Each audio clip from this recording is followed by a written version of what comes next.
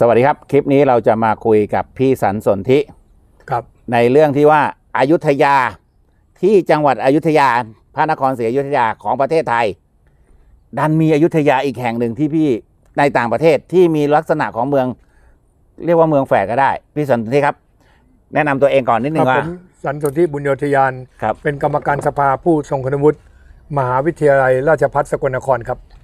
ที่พี่บอกว่าอยุธยาไม่มีเฉพาะอยุธยาจังหวัดพระนครศรีอยุธยานี้พี่พี่เอาอะไรมาพูดเนี่ย คนอยุธยาอาจจะเอ้ยมึนกับคำถามนี้เลย เออจริง ๆ แล้วอยู่ในเอกสารนะครับ เออแต่ว่าหลายคนอาจจะยังไม่ทราบเอออยุธยาจริง ๆ ต้องออกเสียงว่าอโยธยาอยุอโยธยาอยุธยานี่คือไทยเวอร์ชันอ่าชื่อจริง ๆ คืออโยธยา อโยธยาเป็นบ้านเกิดพระรามครับ ครับผมอยู่ที่ประเทศอินเดีย อ่าอยู่ตรงแม่น้ำเออสารยุ เดี๋ยวก่อนอยุธยาในในประเทศไทยเนี่ยนะครับ มีอีกเมืองมีอยุธยาหนึ่งที่อินเดีย เอออันนั้นเขาเป็น original ครับเขาเป็นที่เริ่มแรก เราเนี่ยเอาชื่อเขามาใส่ครับอะที่ยุอยุธยาอโยธยาที่อินเดียนี่เขามีมีครับทำไมเรียกอโยธยา เพราะอโยธยาเนี่ยเป็นภาษาสันสกฤต แปลว่า ไม่มีใครเอาชนะได้ อ่า เป็นอยุธอ่า คืออโยธยาเนี่ยคือ invincible อ่าเป็นบ้านเกิดพระราม ครับ คนอินเดียเขาถือครับครับ ว่าเมืองอโยธยาเนี่ยอยู่อยู่ริมแม่น้ำสารยุเนี่ยอ่าเป็นบ้านเกิดของพระรามเมื่อหมื่นปีที่แล้ว อ่าแล้วปัจจุบันเนี่ยเมืองอโยธยาก็ยังมีอยู่ คราวนี้คนไทยเนี่ยเราได้รับอิทธิพลอินเดีย ครับโดยเฉพาะอย่างยิ่งตอนที่เราจะตั้งเมืองที่ชื่อว่าอโยธยา อ่าครับ แต่เราออกเสียงว่าอายุทยา ครับ ก็จริงๆอันเดียวกันนะ ครับเราถึงมีวัดที่ชื่อว่าวัดพระราม อ่า ประเทศไทยยังมีพระรามเต็มบ้านเต็มเมืองครับ อ่า เพราะคนไทยเนี่ยนับถือเออพระรามเป็นหลักครับ พระรามเป็นอวตารของพระวิษณุครับ เราจึงมีโรงพยาบาลรามาครับเออเราจึงมีสะพานพระรามหกอ่ามีถนนพระรามสองครับ มีพระรามหกครับ มีบึงพระราม ครับมีโรงแรมรามาการ์เด้น อ่ามีโรงพยาบาลพยาบาลรามาธิบดี อ่า มีรามาเต็มไปหมดใช่ไหมครับครับรากฐานมาจากคำว่าเออเราสันนิษฐานเราเนี่ย เป็นอิทธิพลฮินดูกับพราหมณ์ครับ การตั้งเมืองหลวงกรุงเทพเนี่ย การตั้งอโยธยาเนี่ยนะพระเจ้าอู่ทองเนี่ย ท่านก็มีความเชื่อเรื่องเรื่องประเภทแบบนี้ครับ ท่านถึงจะต้องเอาชื่ออโยธยาเนี่ยมาตั้ง เป็นเมืองที่ไม่มีใครเอาชนะได้ ที่ที่ที่ที่อินเดียเป็นเมืองนี้ไหมลักษณะเมือง เป็นเป็นเป็นเมืองครับ ไม่ใช่เป็นเมืองที่คงทนมาเป็นร้อยปีโอ้โอเขามาเป็นพันปีครับ คือเขาเขาเก่าเป็นพันปี สภาพเมืองยังยังสมบูรณ์อยู่ เอองี้ครับ สภาพเมืองทุกวันนี้ก็มีตึกรามบ้านช่อง แต่เขามีโบราณสถานครับตั้งแต่ยุคนั้น แล้วก็ที่อินเดียเนี่ยเขามีเรื่องเพิ่งฟ้องศาลอ่า และศาลสูงของอินเดียเนี่ยเพิ่งเพิ่งตัดสินไปนะฮะครับ เออตรงที่เป็นบ้านเกิดพระรามเนี่ยเดิมเนี่ยเป็นวิหารครับของฮินดูเขาครับ คราวนี้เมื่อสักเกือบ 800 ปีที่แล้วเนี่ย เขาฟ้องกันเรื่อง เอ่อ 800 ที่ปีที่แล้ว อินเดียเนี่ยตกอยู่ในอิทธิพลของเออศาสนาอิสลามครับ ที่มาจากเอ่อ ประเทศตุรกีครับคือคืออินเดียเนี่ยเคยถูกอิสอิอิสลามเนี่ยเข้ามาครอบครองอยู่ยุคหนึ่งครับเขาเรียกแถวแถวราชวงศ์โมกุลอะไรแถวนั้นคนะรับผมคราวนี้เขาก็เลยมาสร้างสุเหร่าอ่าทับอยู่ตรงนั้นครับเออคนที่เขาพื้นเมืองเนี่ยเขาก็ไม่ค่อยพอใจกันครับเขาก็จะไปทำร้ายไปทุบไปอะไรเนี่ยประจำประจำเลย โดยเฉพาะอย่างยิ่งประมาณสักเดือนเมษาเนี่ยเป็นเดือนวันเกิดพระรามครับ คนก็จะลุกฮือ ไปไปบ้านพระราม ไปบ้านพระรามเออรัฐบาลอินเดียต้องส่งหน่วยคอมมานโดเนี่ยมาคุ้มกันอยู่ทุกปี ทุกปี ทุกปีครับ จนในที่สุดเนี่ยเขามีการไปฟ้องศาลอ่าจริง ๆเขาฟ้องกันมาหลายสิบปีแล้วนะครับแต่ศาลเนี่ยไม่รับฟังเพราะศาลบอกว่า เอกสารหลักฐานก็คือรามายานาอ่าคือพระรามเนี่ยเออเป็นเป็นเรื่องในเป็นในความเชื่อครับ เพราะพระรามไม่ใช่บุคคลที่มาเดินอยู่ครับ จะจะเชิญท่านมาเป็นพยานหรือเออก็คือคือศาลเนี่ยเขาเป็นศาลปัจจุบันถูกไหมคครัรับบถ้าผมไปจะไปเอาพญาแถนมาตัดสินมาร่วมกันไม่ได้ มันมันลำบากนะครับถ้าไม่งั้นเดี๋ยวผมไปเอาพญาแถนมาอ่าเดี๋ยวผมไปเอาแม่นาคพระโขนงมาด้วยอ่อ่าคือศาลเนี่ยเขาเป็นศาลปัจจุบันครับกฎหมายปัจจุบันเนี่ยคือกฎหมายปัจจุบันครับ ท่านจะไปเอาพระรามมาเนี่ยอ่าศาลก็อึดอัดใจครับ แต่ตอนหลังเนี่ยไม่ทราบเขาไปเจรจากันยังไงนะ เออ Supreme Court ของอินเดียเนี่ยมีคำตัดสินออกมาแล้วครับว่า ตรงเนี้ยให้เป็นพระรามอ่าแล้วก็ให้แบ่งครับแบ่งดินกันเลย ว่าสุเหร่าคุณก็อยู่ตรงนี้นะอ่าอ่าแล้วอย่ารุกมาอีกนะอ่าเออคนฮินดูเนี่ยก็จะไปสร้างบ้านเกิดพระรามใหม่อ่าเป็นเป็นเป็น temple อ่าเป็นเป็นเป็นเหมือนกับปราสาทเนี่ยนะครับแต่เขาภาษาอังกฤษเขาใช้คำว่า temple ครับเป็น The Ram Temple จะไปสร้างใหม่ตรงนั้นครับนี่นี่คือความเชื่อ ฉะนั้นพอมาถึงกรุงศรีอยุธยา เออคนไทยเนี่ยตั้งแต่ยุคสุโขทัยมาแล้วนะครับเราเนี่ยเป็นพุทธกึ่งฮินดูครับกึ่งพราหมณ์ครับก็เชื่อถือในเรื่องแบบนี้ครับนะพอเรามาตั้งอาณาจักรใหม่เนี่ยเอออันนี้ผมก็ไม่ทราบว่าพระเจ้าอู่ทองท่านคิดยังไงนะครับแต่ว่าท่านตั้งชื่อเมืองนี้ว่าอโยธยาอ่าเออก็ก็ปี้ชื่อของอินเดียมาครับ แล้วก็อินโดนีเซียเนี่ยเขาก็มีเมืองอโยธยามาเป็นพันปีแล้ว มาก่อนอยุธยาอีกเออก่อนก่อนเราครับ เพราะว่าอาณาจักรเขาเนี่ยเกิดก่อนเราเป็นพันปีครับ คืออาณาจักรศรีวิชัยครับเออแต่คนอินโดนีเซียเนี่ยเขาออกเสียงอโยธยายากครับเขาได้ออกเสียงยอกยากาดาแล้วก่อนเราเนี่ยออกเสียงอโยธยาที่อินเดียเรายากเราเราเราออกได้ใกล้เคียงใกล้เคียงกว่าครับอ่าแต่คนอินโดนีเซียเนี่ยแต่คนโบราณก็อาจจะออกเสียงได้ใกล้นะครับแต่อินโดนีเซียปัจจุบันเนี่ยภาษาของเขาเนี่ยถูกเป็นภาษา มาลายูครับเอ่อมาเป็นภาษาอินโดนีเซียครับเขาเลยออกเสียงว่ายอกยากาดาครับ แต่ต้นต้นตอต้เป็นนต่อคืออโยเดียเขารู้ครับเขายังมีเขามีจดหมายเหตุมีอะไรไว้อะไรไว้ แล้วก็อโยธยาที่ยอกยาการ์ตาเนี่ยเขาเขาเขาระบุในเอกสารลองเข้าไปดูในวิกิพีเดียครับลองเข้าไปดูใน Google นะคำว่าเข้าไปดูว่าเมืองยอกยาการ์ตาครับ เป็นอโยธยาเลยครับเขาเรียกว่าเซกันอโยธยา เพราะว่า ยอกยาการ์ตาเนี่ยพันปีที่แล้วไม่ได้เป็นมุสลิมครับ เดี๋ยวเป็นฮินดูเรานี่ครับก็เป็นเติร์ดอโยธยาดิเราเป็นเทิร์ดครับ เพราะเราเราพูดแล้วขเพิ่นงสลุร้ากงเลยเราเพิ่งสร้างเมื่อ 600 ปีที่แล้ว แต่เขามียอกยาการ์ตาอโยธยาเนี่ยมาเป็นพันปี เพราะเขามีโบราณสถานที่ว่าโบโรโบโดอ่าเอ่อคนไทยออกเสียงว่าบูโรพุทโธอ่าแต่คนอินโดนีเซียเนี่ยเขาออกเสียงว่าโบโรโบโดอ่านนะแล้วก็มีปราสาทปรัมบานัมอ่ามีทั้งพุทธ ที่เป็นพุทธมหายาน ครับและฮินดูแท้ครับ ๆ อยู่ที่เมืองยอกยาการ์ตาครับไอ้ตำยอกยาการ์ตาในยโครงสร้างเหมือนอยุธยาไหมหรือเขาเออตั้งชื่อเมืองให้มันเขาตั้งชื่อเมืองแต่ว่า ไม่ให้เป็นอมตะแต่ว่าตอนเนี้ยโบราณสถานยังมีอยู่เยอะนะอ่าเออโบราณสถานเขาเนี่ยอายุเป็นพันพันๆปีครับ ครับ ยังมีครับ แล้วรัฐบาลอินโดนีเซียเนี่ยต้องขอบคุณเขาครับ เขาเป็นรัฐบาลมุสลิมก็จริงครับ ครับ แต่เขาออกกฎหมายมาคุ้มครองโบราณ สถานพุทธศาสนา ทั้งพุทธทั้งฮินดูครับครับเออแล้วก็มีโทษจำคุกครับ มีคนเคยไปก่อการร้ายจะไปวางระเบิดบูโรพุทโธอ่าเขาตัดสินจำคุกเป็น10ปีครับ ทุกวันนี้รัฐบาลอินโดนีเซียยังให้ความคุ้มครองพุทธโบศาราณสสนาถานครับเขาให้ความของคุ้มครองครับให้ความคุ้มครองโบราณสถานของศาสนาอื่นครับ นี่คือกฎหมายอินโดนีเซียครับไม่น่าเชื่อนะครับ ว่าจริง ๆ แล้วเนี่ยมันถ้าเป็น ถ้าเป็นในประเทศอื่นนี่เขาจะอาจทำลายทิ้ง เอออินโดนีเซียคุ้มครองครับ คุ้มครอง เป็นกฎหมายครับเออถ้าใครไม่เชื่อลองไปขู่ว่าจะวางระเบิดบูโรพุทโธตายตำรวจอินโดนีเซียจับจับแล้วมีเลย มีโทษถึงจำคุกครับ แล้วแล้วก็มีคดีเกิดขึ้นมาแล้วครับ มีคนเคยไปทำจะทำร้ายด้วยระเบิดเรื่องที่อย่างตำรวจจับขึ้นศาลติดคุกครับ อินโดนีเซียเป็นประเทศที่น่าขอบคุณครับเขาเขาไม่ทำลายโบราณสถาน เขาแยกแยะ แยกแยะ เขาแยกแยะออกว่า ปัจจุบันกับอดีตครับ อ่าสังเกตครับสายการบินเขายังชื่อ Garuda Airlines อ่าเอ่อ government seal ของอินโดนีเซียเนี่ยเป็นครุฑครับ ครับเป็นครุฑนะเขาเรียกการูด้าเขาออกเสียงว่าการูด้าเลยครับ ครุฑเนี่ย Garuda Airlines เนี่ยไม่ใช่แกง kangaroo หรืออะไรนะครับ ไม่ใช่ เป็นครุฑครับนะครับ เป็นครุฑครับ แต่ว่า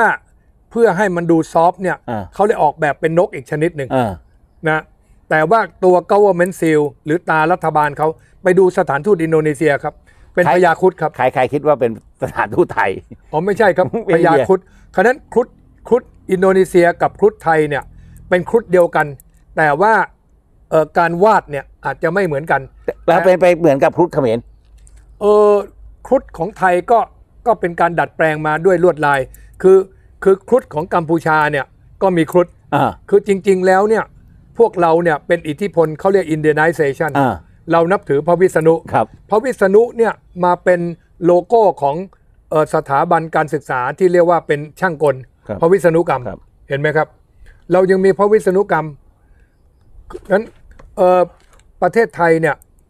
symbol ของ government เนี่ยครับส่วนใหญ่เป็น Hindu god ครับครับท่านเชื่อไหมครับ กรุงเทพมหานคร พระอินทร์ทรงช้างเอราวัณครับเห็นไหมครับ กระทรวงการคลังครับ เอ่อเป็นนกวายุภักษ์ครับ กระทรวงเกษตรผมเนี่ยเป็นเป็นเทพเอ่อวารุณาพระพิรุณเอ่อพระพิรุณทรงนาคครับ นาคนี่ก็เป็น symbol ของ Hindu godการูด้าเนี่ยคือตาครุฑเห็นไหมครับอ่าครุฑแล้วก็ลงยกมาหลายกระทรวงครับกระทรวงศึกษาธิการ เป็นเอ่ออันนี้เป็นผสมครับ เป็นเอ่อทพระธรรมจักรของพระเจ้าอาโศกมหาราช บวกกับเอ่อรูปทวาราวดี เป็นเป็นเป็นสิมเหมือนทวาราวดีครับ นะอันนี้ก็เป็นเอาโบราณมาใส่นะพี่สันเอ่อกรมศิลปากรกเนชากอดอ่าพระพิคเนตอ่าแต่คนอินเดียเขาไม่เรียกเขาออกเสียงกเนชา อ่าหรือกเนช อ่าแต่คนไทยเรียกพระพิคเนตเห็นไหมครับ คือฉะนั้นเราก็นับถือเรายังมีหนุมาน อ่าเรามีโขนครับก็คือรามายาน่าอ่า ฉะนั้นคนไทยก็มีพระรามอยู่เต็มตัวไปหมด ครับ เรามีโรงแรมรามาการ์เด้น อ่า แต่คือเรียกชื่อให้เหมาะสมขึ้นอีกนิดนึงเออเราก็เรียกด้วยเวอร์ชั่นที่ตรงกับภาษารัตนโกสินทร์เราครับดังนั้นถ้าเราออกเสียงอย่างนี้เนี่ย คนอินเดียเขาอาจจะต้องให้เราเขาอาจจะฟังออกมั่งไม่ออกมั่งครับพี่พี่สันติการใช้ชื่อเมืองสำคัญในอดีตมาเป็นชื่อเมืองสำคัญต่าง ๆ เนี่ย มีมาทุกยุคสมัย เออทุกอะพิษณุโลกอ่าคุณไตรเทพคิดว่าเมืองเก่าพิษณุโลกเนี่ย ผมบอกได้เลยว่า ชื่อเดิมเป็นพิษณุโลกคือคำเพี้ยนมาอ่า ชื่อจริงคือวิษณุโลกา เป็นบ้านของพระวิษณุอ่าวิษณุโลกาอ่าแต่คนไทยไปออกเสียงแบบนี้ มันอ๋อก็ไม่ได้ต้องเรียกพิษณุโลก อ่า ที่กาลสินธุ์มีจังหวัดหลายอำเภอ ที่อำเภอจังหารกุสินารากุสินาราเดี๋ยวพี่วันหลังเล่าให้ฟังครับก่อนอ่าคือเดี๋ยวเดี๋ยวผมจะไปค้นว่าเนี่ยแต่ว่าจังหวัดที่ชัดเจนคือ ฉะเชิงเซาอ่าชื่อจังหวัดจริง ๆ เนี่ยเป็นภาษาเขมรครับภาษาขอมอ่าคือสตรึงเซาอ่า เอ่อสตรึงเนี่ยแปลว่าแม่น้ำอ่าเซาเนี่ยแปลว่าใหญ่ ครับมันมีแม่น้ำขนาดใหญ่อยู่ที่จังหวัดฉะเชิงเซาสตรึงเรา สตรึงสสตรึงแปลว่านี่ไงจังหวัดในกัมพูชามีจังหวัดที่ว่าสตรึงเตรงอ่า สตรึงเตรงอ่าคือเอ่อเอ่อ มีแม่น้ำไหลผ่านแม่น้ำไหลผ่าน สตรึงแปลว่าแม่น้ำคครัรับเอ่อเซาเนี่ยแปลว่าใหญ่อ่าเราเลยออกเสียงว่าสตรึงเซาเนี่ยมาคนไทยก็เอาออกเสียงยากออกยาก เอามันฉะเชิงเซาซะเลยว่า ง่ายดี ครับ ก็อย่างชื่อชื่อในประเทศไทยต่าง ๆ เนี่ยอย่างเป็นชื่อที่เพี้ยนมาจากชื่อโบราณครับ อย่างยอกยาการ์ตาครับก็มีหลักฐานบันทึกไว้ชัดเจนว่ามีมีชัดเจนครับเออนักโบราณคดียอมรับมาเป็นร้อยร้อยปีแล้วครัอ่าบนะครับ คนไทยอย่าภูมิใจในความเป็นอยุธยานะครับอยุธยาเราอยู่ใช้เป็นชื่อคนประเทศที่สามเมืองที่ใช่สาครัมบเมืองที่สามเพราะว่ายอร์กยาการ์ตาเขาเก่ากับเราเป็นพันปีอ่าเขามีโบราณสถานที่ครับอ่าอาณาจักรสยามยังไม่เกิดครับอ่าอยุธยาก็ยังไม่ไม่เกิเกิดดเอ่อสุโขทัยก็ยังไม่เกิดครับ เอ่อขอมก็ยังไม่เกิด ครับ เพราะเขาเกิดก่อนขอมครับ เขาเรียกอาณาจักรศรีวิชัย ครับซึ่งมีมาก่อนก่อนขอมครับ ครับแล้วก็เป็นปราสาทปรัมบานำก็ยังอยู่ครับ ครับเฮ้อก็ปราสาทปรัมบานำก็อยู่ยอร์กยาการ์ตาปราสาทปรัมบานันก็คือเป็นปราสาทฮินดูครับ เป็นสัตว์อยู่ยังอยู่ อยู่ครับ ปราสาทใหญ่เลยครับ นี่ใหญ่คือใหญ่ใหญ่พอๆกับ Angkor Wat ครับ อยู่ที่ยอร์กเดี๋ยยาวการ์ตา ว่างๆเดี๋ยวผมจะเชิญพี่ไปอธิบายให้กลุ่มอโยธยากรุ๊ป เพื่อนผมหน่อยประธานธมิตรกันเลยครับอธิบายว่าอโยธยามาจากไหน เออผมเคยไปเป็นวิทยากรบรรยายให้กับเออสมาคมที่ทำเรื่องเกี่ยวกับการท่องเที่ยวอ่าผมใช้คำว่าอโยธยาไม่มีวันตายอ่าอโยธยา never die อ่าเออเหตุผลที่ผมใช้ชื่อนี้เป็นเพราะว่าคำว่าอโยธยาเนี่ย แปลว่าไม่มีวันตายครับอ่าแปลว่า invincible อ่าไม่มีใครเอาชนะได้ครับ ครับนี่นี่คือ ความหมายของชื่ออโยธยาคือคำนี้ครับไม่มีวันตาย อ่าเพราะว่าอายุธเนี่ยอายุธเนี่ยแปลว่าไม่ อ่า คืออะอายุธก็คือไม่ไม่มีครับวันตายอ่า ครับงั้นอโยธยาเนี่ยคนอินเดียเขาแปลเป็นภาษาอังกฤษ แปลว่า invincible อืม invincible แปลว่าไม่มีใครเอาชนะได้ ผมก็เลยมาแปลเป็นภาษาอังกฤษง่าย ๆ ว่า never die นี่เบอร์ได้ ครับอโยธยา never die ภาษาไทยผมใช้คำว่า อโยธยาไม่มีวันตาย นี่ครับ ผมผมไปบรรยายเรื่องนี้มาแล้วคยรับกยกยกยกยกยกยาการ์ตาตายไหมเออทุกวันนี้เขาก็ยังอยู่ครับไม่ใช่ไม่ความเจริญรุ่งเรืองของเมืองเขาเออเขาก็เขาก็เป็นเมืองใหญ่อันดับสองจากจาการ์ตาครับ คือเขาถูกลุกลานไหมเออเขาเขาเป็นเมืองขึ้นของฮอลันดาอ่าเป็นเมืองขึ้นของโปรตุเกสบางส่วน คืออินโดนีเซียเนี่ยเขาเป็นเมืองขึ้นอังกฤษบ้างอ๋อแบ่งเป็นกันเมืองมันขึ้ใหญ่นจัดฮอลันดามั่งใหญ่จัดเออเป็นเมืองขึ้นโปรตุเกสมั่งครับตั้งแต่ยุคล่าอาณานิคมครับเอ่อ ล่าสุดเขาก็ประกาศเป็นเอกราชอ่าแล้วก็มีภาษาของตัวเองมีครับต่างๆ นานาครับครับ ที่เราพูดไปทั้งหมดนี้ค้นดูในเว็บไซต์พี่ ได้หมดครับครับ ได้หมดเอ่อผมผมมีเรื่องของอยุธยาโดยเฉพาะจะให้เข้าไปในหมวดไหนครับ เอ่อเข้าไปในหมวดเอ่ออินเดียนาโจนครับเอ่ออินเดีพยจนานโจไปนพจนใจครับอยุธยาครับเอ่อเนื่องจากว่าเรื่องเหล่านี้เนี่ย ผมต้องใช้โปรแกรมคณิตศาสตร์เนี่ยคำนวณย้อนหลังว่า วัดในจังหวัดอยุธยาวัดเก่าๆเลยนะอ่าครับ ทำมุม 85 องศาเหมือนปราสาทพนมรุ้งครับ ทุกวัดเลยเหรอ ทุกวัดครับ ไปดูได้เลยครับ อันนี้อันนี้เป็นข้อมูลใหม่ฝากกลุ่มอโยธยากรุ๊ปพี่ตุ๊กเลยนะครับว่า วัดในอโยธยาอุโบสถ เอางี้ครับ วัดมหาธาตุไปจับได้เลยครับครับ เออพระอาทิตย์จะขึ้นตรงกับปราสาทพนมรุ้งแต่เผอิญอยุธยาเนี่ยมีตึกสามชั้นมาบังเกือบหมดแล้วครับ คือน่าเสียดายนะครับ คือมันโบสถ์ที่อยุธยานี่ทำมุม 85 องศา เหมือนปราสาทพนมรุ้งไปะเอา GPS ไปจับการได้การเลยครับทำมุม 85 องศาเนี่ยพี่อธิบายให้นิดหนึ่งว่าทำมุม 85 องศากับโบโบราณสถานเนี่ยมันบ่งบอกอะไร บ่งบอกว่าตอนนั้นเป็นราศีเมษครับราศีเมษคือราศีวันเกิดพระรามครับ ครับ พระรามเกิดในราศีเมษครับครับฉะนั้นอยุธยาถึงมีวัดวัดหนึ่งชื่อว่าวัดพระรามวัดพระราม ครับ มีครับไปดูดิครับ พี่ไปอยุธยาบ่อยไหม โอ้ผมก็ไปทำวิจัยอยู่หลายครั้งครับ ไปทำวิจัยเลยเหรอเอาก็ผมไปทำวิจัยส่วนตัว ผมเอา GPS ไปจับ ไปวัดนู่นวัดนี่ไปไปเขียนหนังสือไปอะไรครับ คือ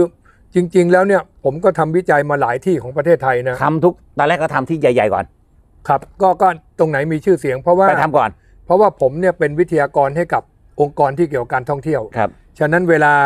ผมพาเข้าไปบรรยายเนี่ย ผมต้องบรรยายด้วยองค์ความรู้ที่ผมทำวิจัยเองครับ ผมจะไม่ไปอ่านเอกสารมาพูดนะ ถ้าอ่านอ่านคุณอ่านเองอ่าคุณอ่านเอง ถ้าอ่านเอกสารวิจัยวิจัยที่มีอยู่แล้วไปอ่านเอาเองเลย คือทุกทุกเรื่องที่ผมบรรยาย จะเป็นองค์ความรู้ที่ผมทำวิจัยด้วยด้วยตนเองครับแล้วก็ผมพูดทุกครั้งครับ นี่คือการวิจัยส่วนตัวของผมนะ อย่าเอาไปเป็นเอกสารเอ่อ ทางวิชาการ เออท่านแต่ จะเอาก็ได้คือคือแล้วแต่ท่านอ่า เอาเป็นว่านี่คือส่วนตัวของผม ครับ แต่ผมยินดีให้ท่านก๊อปปี้ไปทำอะไรก็ได้ ครับ แต่ท่านจะไปเถียงกับคนเนี่ยก็แล้วแต่ท่านเถียงกันเองนะ ท่าน ท่านเอา เอาผมไปเถียงได้ แต่ครับ แพ้ชนะ อย่าเอาไปเอาแพ้ชนะ แต่ของผมเนี่ยต้องเถียงด้วยหลักวิทยาศาสตร์คครัรับ ถ้าท่านไม่เชื่อผมว่า 85 องศา ตรงกับราศีเมษ ท่านก็กรุณาใช้โปรแกรมคณิตศาสตร์เข้าไปตรวจเองครับ เอา GPS ไปจับเองครับ ท่านมีหัวเว่ยท่านมี iPhone เอาไปจับดูเลยว่าครับ วิธีที่ง่ายที่สุดไปนั่งอยู่ที่วัดมหาธาตุครับ ครับ แล้วประตูวัดมหาธาตุเนี่ยจะตรงกันหมด แต่เสียดายครับมีตึกหลายชั้นอยู่ข้างหน้า ดวงอาทิตย์ขึ้นต้องทุบตึกอันนั้นออกถึงจะเห็นครับ อ๋อเราต้องไปหาวัดที่ไม่มีอะไรบัง โอ้ใช่ครับ เพราะว่าอย่างที่ผมว่าไงว่า กฎหมายเราเนี่ย เราให้เอกชนให้คนเนี่ยไปออกโฉนดล้อมรอบโบราณสถานอ่าจนจริง ๆ แล้วเนี่ยต้องถอยห่างออกไปเป็นกิโลนะครับมันถึงจะเป็นอุทยานประวัติศาสตร์ สังเกตไหมครับว่ามรดกโลกเนี่ยยูเนสโกเนี่ยเคยมีปัญหากับอยุธยาอ่าเป็นเพราะเราเอาร้านค้าต่างๆ เอารถทัวร์ไปจอดอ่าคือมรดกโลกเนี่ยอย่างทัชมาฮาลเนี่ยเขาห้ามเด็ดขาดครับอ่าห้ามรถเข้าไปใกล้กี่กิโลเมตรอ่าคุณต้องนั่งรถม้าเข้าไปเท่านั้นอ่าหรือรถกอล์ฟ ครับห้ามเอารถทัวร์รถอะไรไปจอด แต่ของเราเนี่ยรถทัวร์นะจอดรถจสิดบล้อวิ่งผ่านกลางเมืองเลยครับอันนี้จะทำความเสียหายได้ระยาวก็เนี่ยครับเออพระปรางสามยอดเนี่ย ผมกลัวว่าวันหนึ่งเนี่ยจะล้ม เพราะว่ารถไฟวิ่งผ่านวันหนึ่งไม่รู้กี่เที่ยวอ่าเกิดไวเบรชันครับสะเทือนอ่าวัดพระธาตุเชิงชุมเนี่ย ผมได้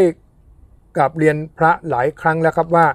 รถทัวร์เนี่ยกรุณาไปจอดไกลๆทางนู้นเลยครับเพราะรถทัวร์จอดเนี่ยเขาไม่ดับเครื่องครับอ่าเขาเขากลัวแอร์จะไม่เย็นครับ รถทัวร์สังเกตไหมครับ เวลาครับรถทัวร์จอดเนี่ยเครื่องแอร์ไม่ปิดครับ เขย่าตลอด แล้วเจดีสมัยโบราณไม่มีเสาเข็มครับ ผมกลัวจะสุดฮ้ยกลัวจะเอียง พี่พวกนี้เขาฐานรากเขาเป็นอะไรอะลืมถามเออเป็นเป็นเท่าที่การวิจัยนะเป็นไม้ซุงขนาดใหญ่กับเป็นหิน ไม่ไม่ไม่มีเสาเข็มครับ เป็นไม้สูงขนาดใหญ่ เป็นไม้ซุงขนาดใหญ่แล้วก็อัดแน่นอ่าแล้วก็เป็นหินอัดครับ แต่ส่วนเทคโนโลยีเสาเข็มเนี่ย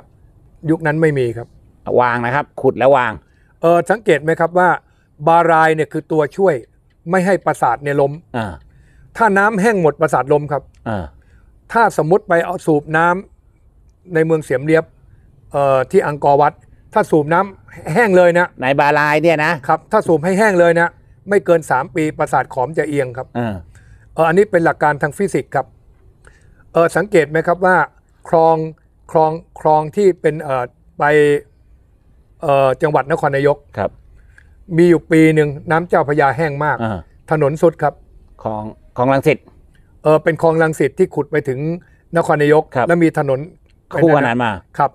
เออมีอยู่ปีหนึ่งถนนยุบครับเพราะน้ำในคลองแห้ง น้ำในคลองแห้ง คือน้ำเนี่ยทำหน้าที่เหมือนเสาเข็มครับ ครับ ดินเนี่ยต้องมีน้ำอยู่จำนวนหนึ่งครับ เพื่อจะทำให้ดินเนี่ยไม่ยุบครับ แต่ถ้าแห้งหมดเลยมันจะเกิดฟองอากเป็นฟองอากาศครับดินจะยุบครับ นี่ไงครับทัชมาฮานตอนนี้เนี่ยยูเนสโกเขากังวลมาก เพราะว่าแม่น้ำหลยมนาปีเนี่ยเออเปลี่ยนแห้งมากครับในฤดูแล้งแล้วก็ท่อนซุงซึ่งเป็นฐานรากของทัชมาฮานเนี่ยถ้าแห้งเนี่ยจะผุจะผุครับนั้นปราสาทขอมเนี่ยที่เขาต้องมีน้ำเลี้ยงไว้เนี่ย ถูกของเขาแล้วครับ น้ำเป็นตัวทำให้ดินเนี่ย